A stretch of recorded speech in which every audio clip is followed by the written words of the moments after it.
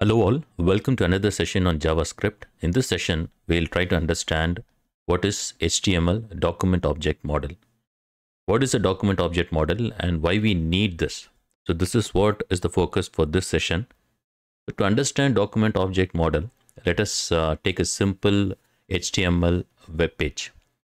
So this is the HTML web page I have considered.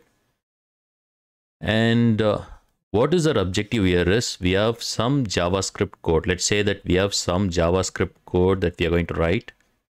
And this is our JavaScript code. So the objective here is from within this script, I should be able to perform certain manipulations on my web page. So it's like I'll be able to access the elements in the web page. I'll be able to change the styling for the elements. For instance, I can change the font color of this paragraph tag to red.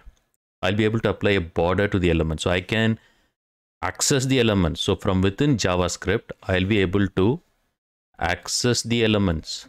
That's the first thing. Access all the HTML elements. After accessing them, what I can do? I can change the styles. I can change the style for the element. I can add an element I can remove an element. So I can delete an element. Say if I don't want this paragraph, I'll be able to remove that element by using JavaScript code. I'll be able to replace an element. What is replacing an element? So I can replace any element with another element. So how will I be able to achieve that? By using my JavaScript code. I will also be able to handle events. What are events here? Say when the user clicks a button, that's an event. When the user moves his mouse over a certain area on the web page that's an event. So when the user performs some events how do i handle those events? I'll be able to handle events using my javascript code. So the objective here is i should be accessing the html document. Then i should be manipulating the elements. So that is the objective.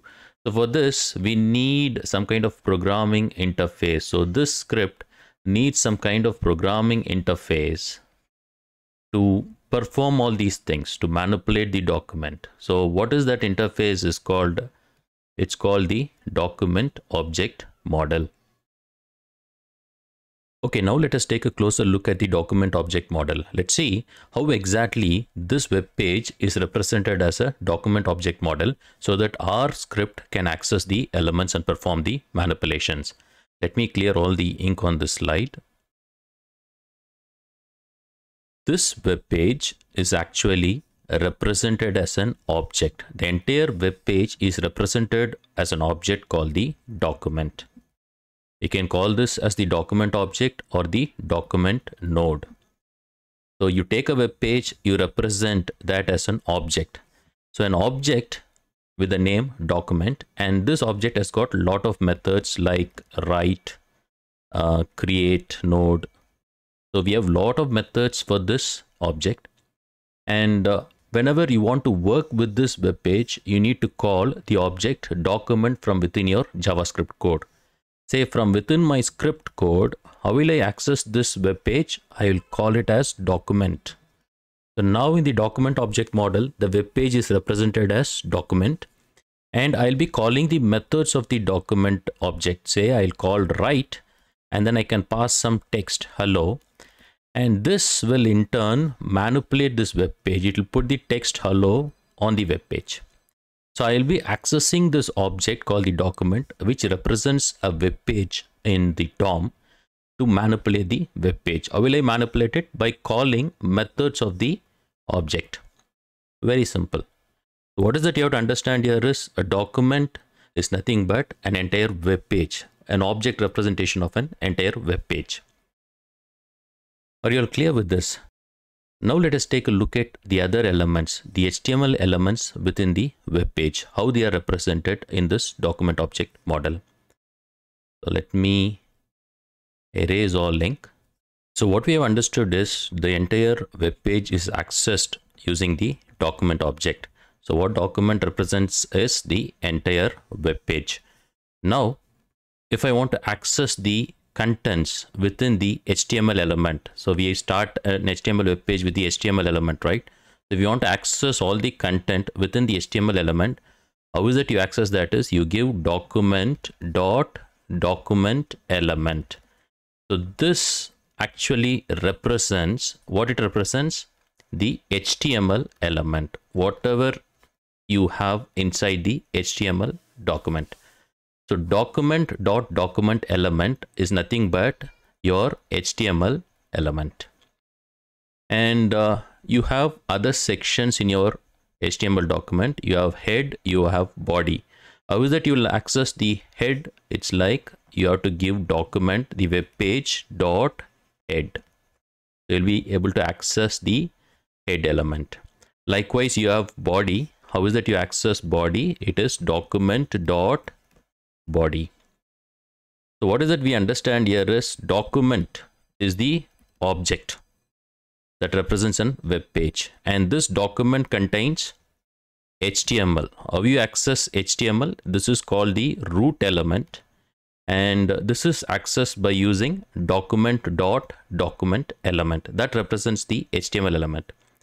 And HTML contains two divisions, right? You have head and you have body.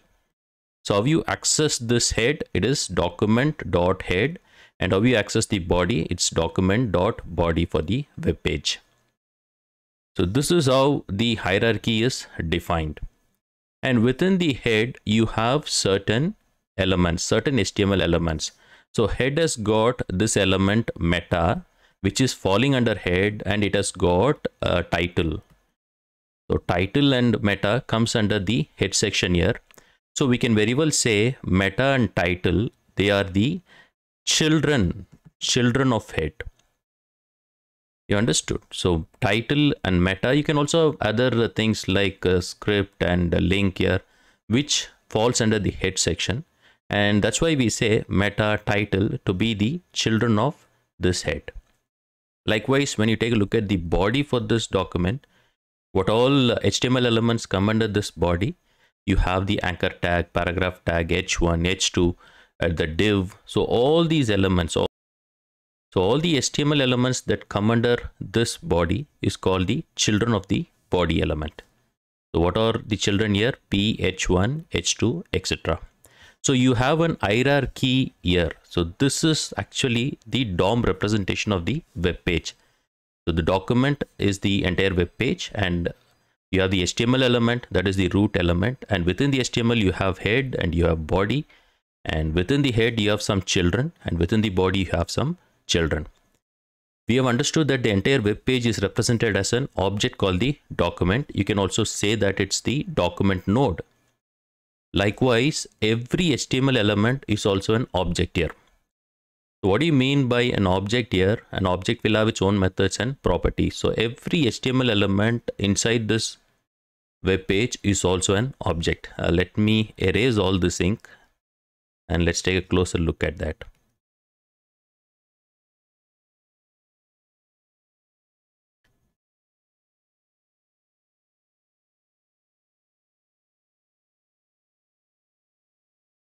So what is that we understand here is the entire web page is an object. You call that to be a node, document node. Not only that, every element, every HTML element is also a node. For instance, you say you take uh, the head it's called an element node. So you classify every element to be a node. So everything here in this web page becomes an object. That is the meaning here. Document is the main object whereas every element here is also another object. For instance you talk about paragraph paragraph is again you call that to be another object or a node. So paragraph has got its own properties and methods. Likewise h1 this again is another node. So you say there are certain nodes. All these nodes are called child nodes and these nodes are present within the body. This is again another node. And body is a child node for the root element html likewise head as con head contains many child nodes. What are the child nodes here? Meta is a child node title is a child node and uh, these are the child nodes of head division. So the document object model document is the object and then every node is in turn a child node and all these nodes come under an hierarchy. So whenever you access an element, you're accessing an object, an object with properties and with its own methods. So that defines the object model or the document object model. So we'll be accessing, say when I want to manipulate the web page, what will I do? I'll be accessing the object and then the methods and the properties for the object to manipulate the object. I hope you have understood the hierarchy that is present in the document object model. What is the hierarchy? On top, we have the document object or the document node and within that we have the HTML node. How you access the HTML node? It is document dot document element. And under the HTML node, you have two different nodes that is the head node and the body node. The head node in turn has got many child nodes. So what are the child nodes? It can be meta, title, link, script. The head node has got a lot of child nodes. Likewise, body node has got a lot of child nodes. Here in this web page, what are the child nodes? Anchor tag, paragraph tag, h1, h2. Everything comes under the child nodes. So you can very well conclude like this, that is your document or your web page in a document object model is made of nodes and child nodes. There are a lot of nodes and child nodes. So each and every node has got its own property and methods. And we also have a classification of these nodes. What do you mean by classification of nodes? Say I have text node, I have element node, I have document node, I have comment node. So these are the classifications of the nodes inside the DOM. So we'll see what are these various kinds of nodes now. Let me erase the ink on the slide. So we have a lot of nodes and child nodes here and uh, we classify them. What is the classification of the nodes? Uh, we call them to be element nodes. What are element nodes? All the HTML nodes are called element nodes. Say paragraph, h1, h2, a div. All these things come under element nodes. These are nothing but HTML elements. So you classify all the HTML elements as element nodes. You call them element nodes in DOM. Whereas there is some text, right? This is a paragraph, is a text that is being surrounded by the element nodes. So you call that text to be a text node.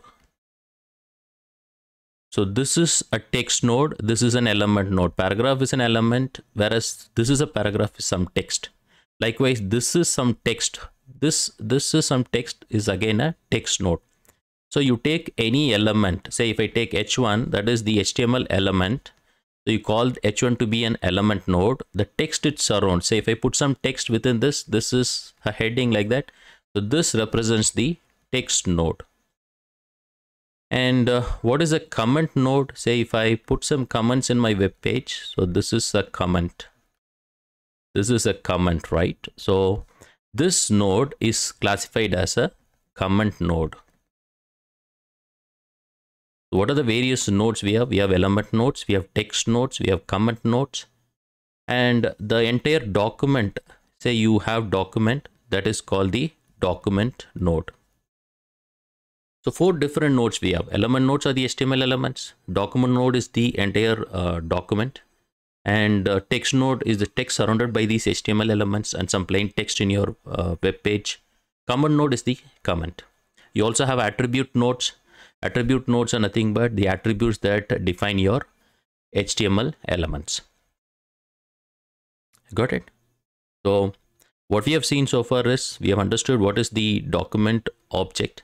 We have understood what are nodes and child nodes within the document object. We have also understood the classification of the various nodes within the document. Now let's take a very simple demo. Let's see how we can write JavaScript code to manipulate an HTML web page. Let's create this. Let's move on to Visual Studio Code okay the very first demo we'll take up is we'll create a web page and then we will use the document object to write some content to the web page from within javascript. So this is a demo on writing content to a web page using document object. Let me create this simple uh, web page and uh, we can have the title as document object model. And uh,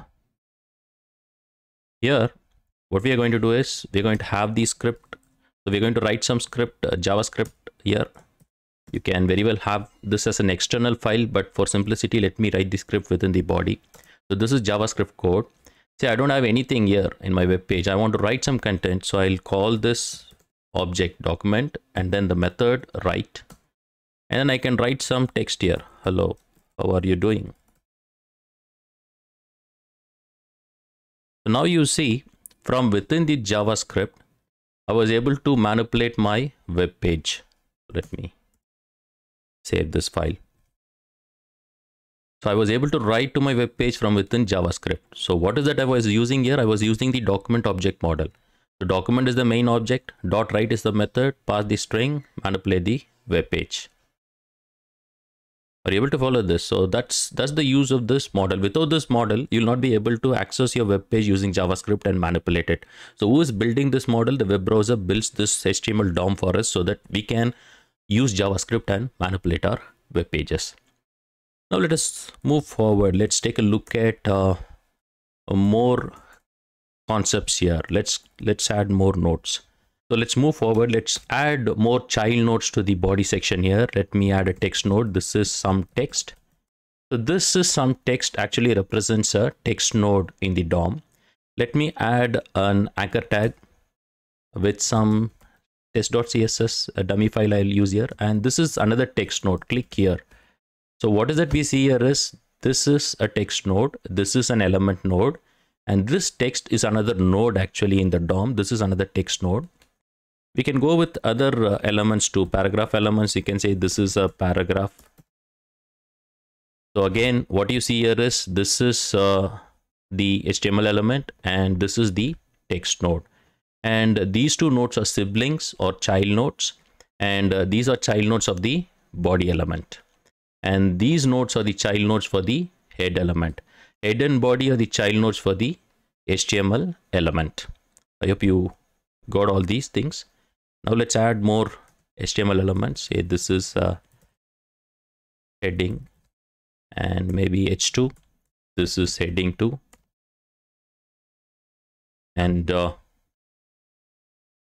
Finally, we'll also have a div tag. And inside this div tag, we can say, hello, how are you? Okay. So we have created various child nodes within a body element. Now, how to access all these nodes from within my JavaScript? Say I want to access all the child nodes under the body element. For this, I'm going to use document is the object dot body is that element which I want to access dot child nodes. So this is going to return an array of child nodes. So what are the child nodes? Every node, text node, element node, comment node, whatever that is part of this body section will be returned. So we are getting an array of nodes. So we'll get that in an array. And what we have to do is we have to browse through the array. I'll use a simple for loop here for let i of x and uh, we'll browse through every node. I told you that every node is an object. So what are things we are going to get here? This x actually represents this node, this node, this node, this node, this node, and this node. So let's now print the node names for all our nodes. So we'll just do document uh, document dot write and then we'll call every node and then we'll print the node name so you'll be able to see on the right hand side you have the node names for all the nodes under the body section see that's why i told you every node is an object you see here every node that's coming in so this is the text node when i do i dot node name you can see text text here represents the very first text node. Likewise, the next node in our array is the anchor. So you see A. The node name is always given in capital letters for the HTML elements. So this is the anchor tag. Next comes text. What is this text node representing? This specific node here. Next node is a paragraph. That's why it's P and paragraph surrounds uh, some text and that's the text node. So you're able to see H1 again some text. So this is a node, this is a node, this is a node, this is a node. So that is the meaning here. Hash text is a node, A is a node. So this is a text node, this is an element node. So everything inside this document object model is actually a node. You're going to get it as a node and access the properties of the node. So here, here we have accessed node names. If I just want to get the HTML elements alone and I'm not worried about the text surrounded by these HTML elements, I can give dot children.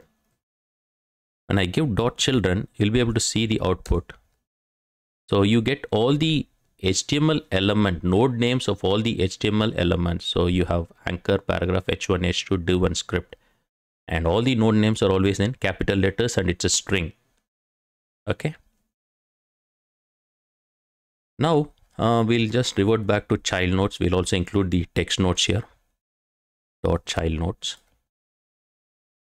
And uh, we'll also have a comment node to understand what is this comment node. Comment given so when I include a comment node, what is the output we are getting here? This is the comment. Okay. So this is the comment node and it is uh, also containing some text. So that's why we have text given here. I hope you are now clear with the various uh, nodes. What are the various nodes we have? We have element nodes, we have comment nodes, we have text nodes, we have the entire uh, document node too. For instance if i want to print the document node name i can perform this document dot write. I'll call document. Document itself is a node. Say document dot node name. So what is the node name for document object? You can see that is document. Got it if I want to access the HTML element, how will I access the HTML element? Say document dot write. I'll access the HTML element by giving document dot document element. Document dot document element dot node name. What is the node name for document dot document element?